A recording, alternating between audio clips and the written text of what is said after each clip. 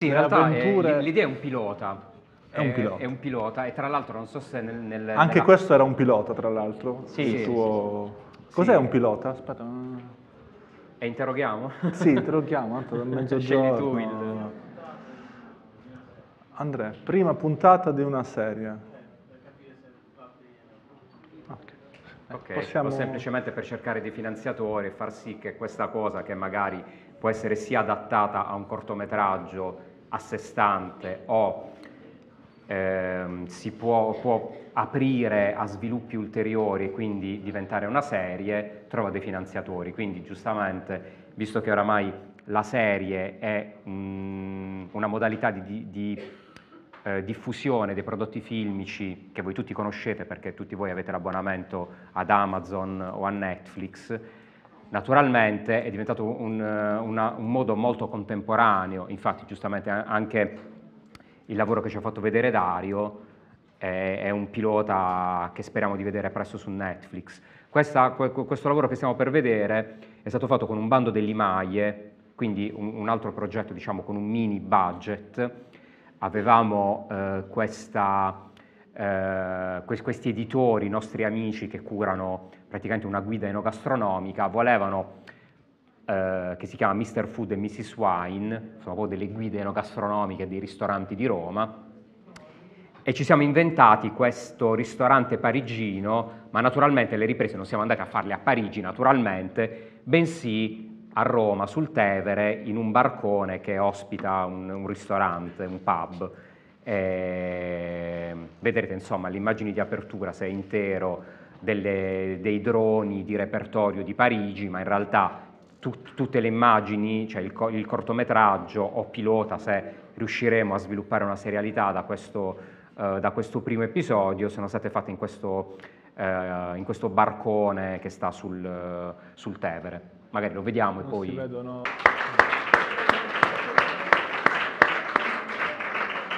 A proposito di, di situazioni appunto lavorative un po', un po', complesse, tra l'altro avete riconosciuto lo stesso attore che faceva il riparatore di Santi, che come vi dicevo, che è il cameriere maldestro, Danilo Giuva, che lui ha fatto solo due film e entrambi insomma li abbiamo visti oggi, perché lui in realtà è un attore teatrale, però insomma molto versatile. Chiusa questa parentesi, questo cortometraggio è stato fatto in due notti sul Tevere, all'umido e al freddo, con orari diciamo, simili a quelli che diceva Dario prima, quindi convocazione serale e si finisce alle tre, alle tre di notte. Quindi anche qui bisogna essere pronti a ogni evenienza. ogni evenienza e soprattutto a una situazione come può essere appunto un ristorante che è una barca sul Tevere, quindi spazi ristretti, margini di manovra eh, assolutamente limitati. limitati. una cucina come quella di un ristorante che è uno spazio piccolissimo, avete visto le scene nella cucina vera di quel ristorante, quindi non è stata ricostruita, abbiamo usato esattamente la location così com'è, tranne la sala del ristorante, la sala da pranzo, che invece è stata scenografata perché in realtà non è un vero e proprio ristorante, ma sarebbe più un pub quindi praticamente è stato scenografato con un lavoro di scenografia che tra l'altro i proprietari hanno chiesto di lasciare, cioè talmente tanto Vero, è piaciuto. Eh? Sì, Bellissimo. Sì. Hanno detto vabbè, regalatici il, il, set che avete fatto e lo e teniamo facciamo, così, eh, non e non facciamo pagare, l'affitto. Bellissimo. Peccato per la carne è andata male perché ho spento tutti i congelatori in cucina. No, quindi... no, bugia, poi sono stati riaccesi. Comunque appunto la cucina è uno spazio delicato perché ci sono i fornelli, ci sono eh, il vapore che vedevate e il vapore dei, dei, fornelli veri dove si cuoce la pasta, che sostanzialmente sono delle vasche con le fiamme sotto. E queste fiamme vanno fortissimo e fanno un rumore infernale. Quindi ovviamente anche qua bisognava coniugare delle esigenze di, di scenografia, quindi avere il fumo, avere proprio quello che ci si aspetta da una cucina di un ristorante, che viva di quelle che sono le cose che ci si aspetta di vedere in una cucina. I vapori, il, cioè ci, ci, si deve però sentire contrasta lì. con il fatto che, che però naturalmente va un attimino a contrastare con quello che è il lavoro del fonico che ha bisogno di fondi puliti per riprendere i dialoghi quindi naturalmente c'è stata una, una costante guerra con lo scenografo che tra l'altro è di Bari in tutto ciò è? che è Marco ah.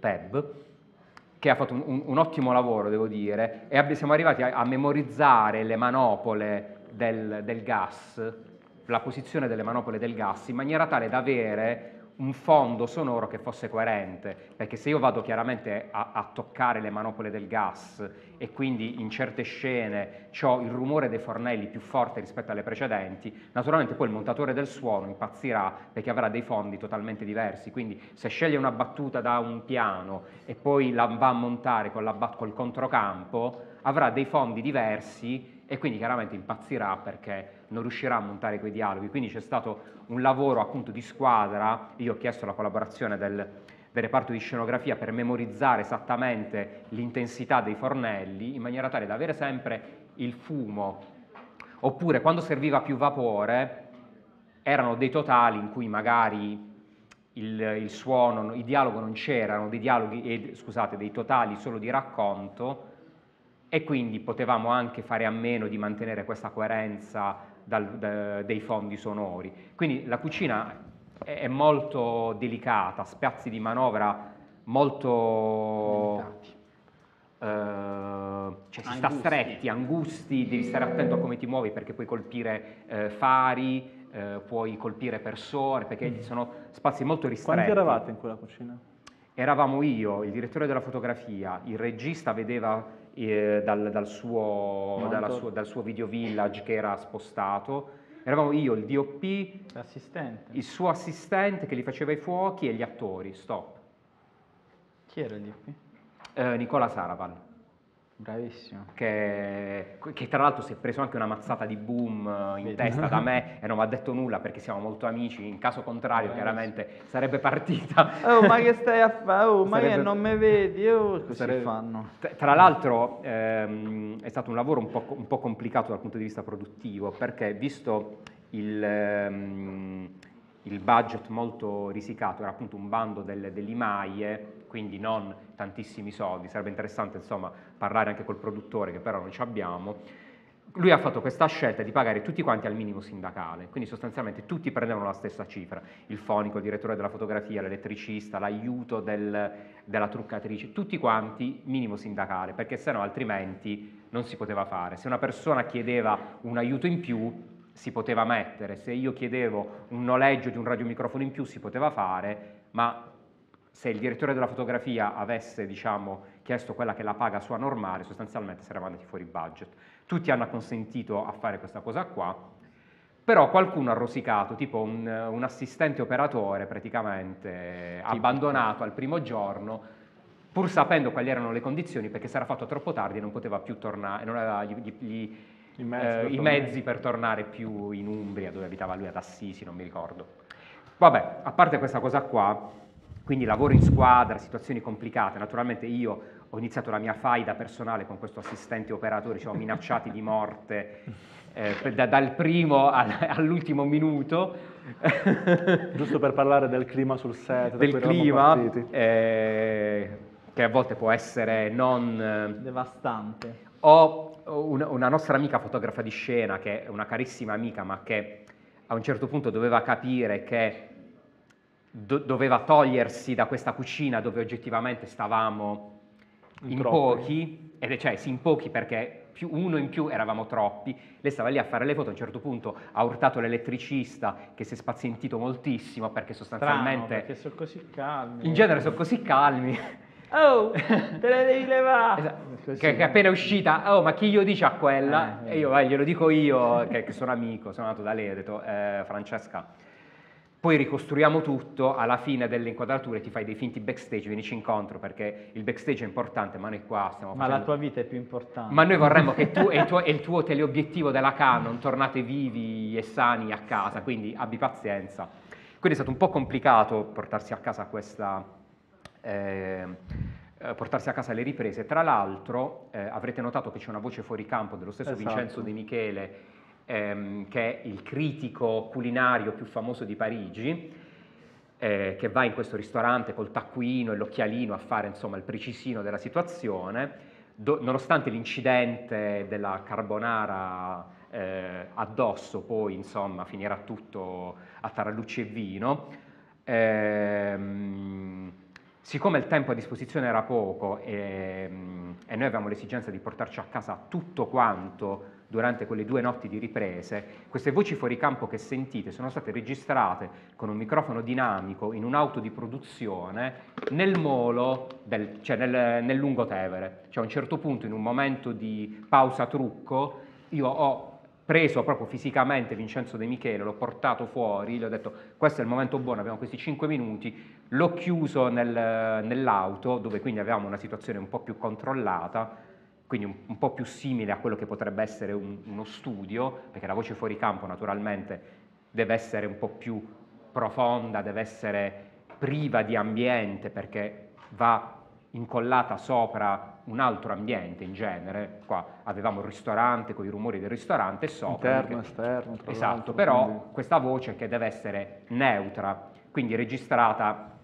idealmente in uno studio, però noi non avevamo il tempo di riconvocare né il budget, a dire la verità, di riconvocare Vincenzo De Michele in seguito, quindi una cosa che si usa fare molto, molto spesso in situazioni di basso budget è approfittare della presenza dell'attore durante le riprese, se sappiamo che l'attore si autodoppierà anche nei, nei, eh, nelle voci fuori campo, cosiddetti voice over, lo si rapisce per un attimo o in coda alle riprese, in un ambiente controllato, può andare bene anche una macchina o un van, si utilizza magari un microfono che non è tanto sensibile, non è tanto direttivo come uno shotgun, quello che si usa per la presa diretta, che siccome ha una capsula polarizzata, quindi sostanzialmente è un microfono a condensatore con una lunghissima gittata, quindi un microfono che è molto sensibile, molto direttivo e anche se usato in un ambiente controllato può addirittura prendermi un qualcosa che sento fuori dall'auto.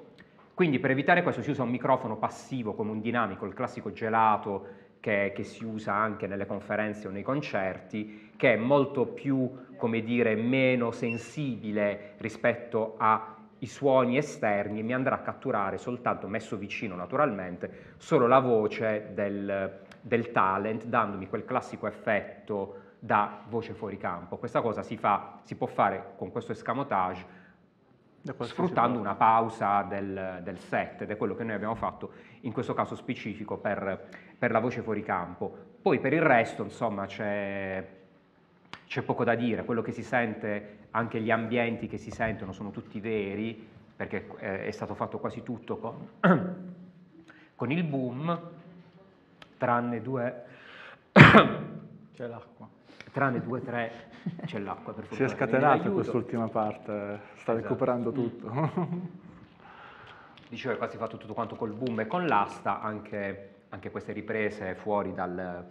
Eh, dalla barca sul, sul Lungotevere, sono state tutte quante fatte con, eh, con, l'asta, gli attori sono stati seguiti, sono stati microfonati, per fortuna um, tranne quel bellissimo carrello che si vede, che hanno sfruttato questa idea per raccontare, questa è stata una, una grande genialata del, del DOP, per facilitarsi e raccontare questa scena del, del lancio del, del, cameriere maldestro che inciampa e lancia il piatto di carbonara bollente in faccia al, ehm, al, al, povero critico, eh, hanno deciso di fare questo carrello fuori raccontando la, eh, il barcone visto da fuori. Questa cosa ha aiutato un sacco.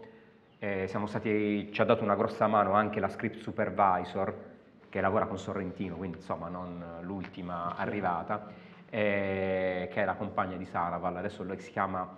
Eh, eh, eh, vabbè, mi verrà in mente, poi te la dico. Sì, sì che ci è stata di grosso aiuto suggerendoci di, ehm, una serie di inquadrature di racconto che ci aiutassero molto facilmente a descrivere questa azione che il regista voleva fosse dinamica e quindi la maniera migliore è uscire fuori. Fare inquadrature a palla, mettere totali dentro, certo. E, raccont- e, raccontarla in questa maniera. Altra nota, diciamo interessante, qua c'è pochissimo di effetti speciali, c'è un lavoro di color correction, ma sostanzialmente per andare a colorare a contrastare, eh, però poi tutto il resto è stato fatto molto, diciamo, alla vecchia maniera.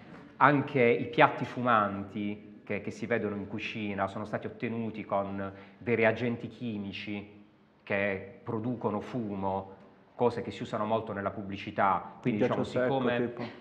Come? Tipo il ghiaccio secco, così genere. Sì, sono proprio delle goccine che producono fumo sostanzialmente. Ah, cioè, tu metti una goccina di questa cosa e ti fa un fumo della Madonna su un alimento. Chiaramente è tossico, l'alimento poi non te lo potrai mai mangiare, Vabbè. però diciamo come dire... Eh... Inalare quel fumo. esatto, però questa cosa è interessante visto che comunque anche prodotti che mostrano cibi o format di cucina sono una cosa di forte eh, attualità, li vediamo ogni giorno, diciamo a qualsiasi ora, da Masterchef alla prova del cuoco. È interessante anche sapere come vengono fatti poi questi, questi, format, perché magari qualcuno di voi un domani si trova a lavorare, a fare un lavoro a qualsiasi titolo in format di, di, di, di questa natura. E, ehm,